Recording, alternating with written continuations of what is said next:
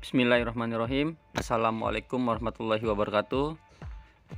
Seperti biasa nih Gimana kabar kalian semua? Semoga selalu diberi kesehatan amin. Dan kesempatan kali ini Saya mau menjelaskan Apa yang saya tahu Tentang bagaimana caranya Menginstal atau memasang VPN di RDP teman-teman. Dan kebetulan di sini saya menggunakan HP untuk mengakses RDP atau VPS-nya dan untuk teman-teman yang mungkin belum tahu cara menggunakan RDP di HP bisa klik link yang ada di deskripsi ya teman-teman. Dan sebelum lanjut ke tutorialnya seperti biasa nih saya mau minta kepada teman-teman yang baru atau yang sudah berkunjung di channel ini tapi belum subscribe silahkan subscribe terlebih dahulu ya teman-teman.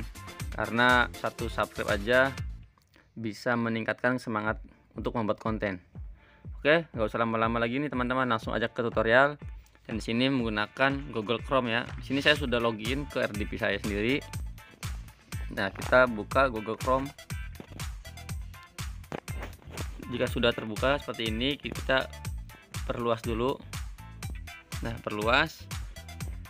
Terus kita pilih ini di apps ya apps kita klik kemudian kita pilih web store.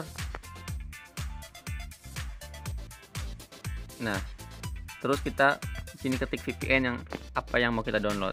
Nah kalau di RDP itu jangan pakai VPN desktop teman-teman karena banyak yang bilang kalau menggunakan VPS eh, VPN desktop itu bakal apa ya bakal error gitu RDP nya jadi di sini saya menggunakan extension di Google Chrome dan di sini saya mau mencoba mendownload VPN yang gratisan aja dulu teman-teman.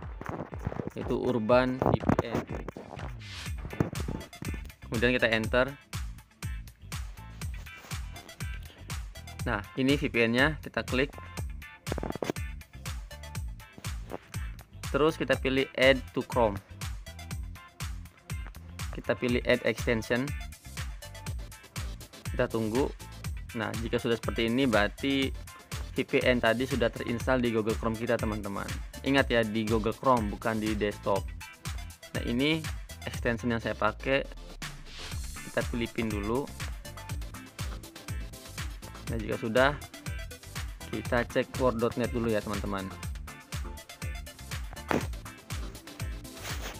Apakah berhasil VPN-nya terpasang atau tidak. Nah, ini IP bawaan RDP-nya teman-teman. Saya belum connect ke VPN. Nah, setelah itu saya coba connect ke VPN. Enaknya Urban VPN ini kita nggak usah login teman-teman, langsung pakai aja. Kita ikuti perintahnya, kita agree. Nah, di sini saya disable dulu ada beberapa extension yang bentrok kemudian sini pilih server saya pilih Indonesia aja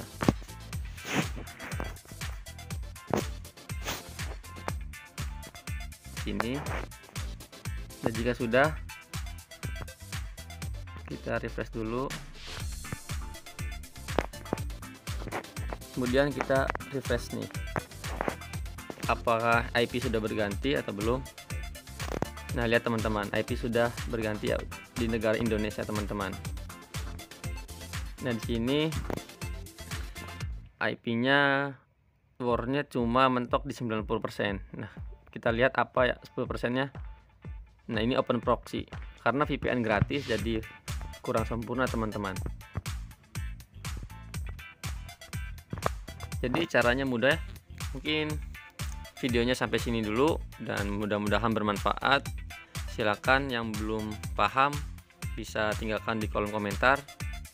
Dan saya ucapkan terima kasih. Wassalamualaikum warahmatullahi wabarakatuh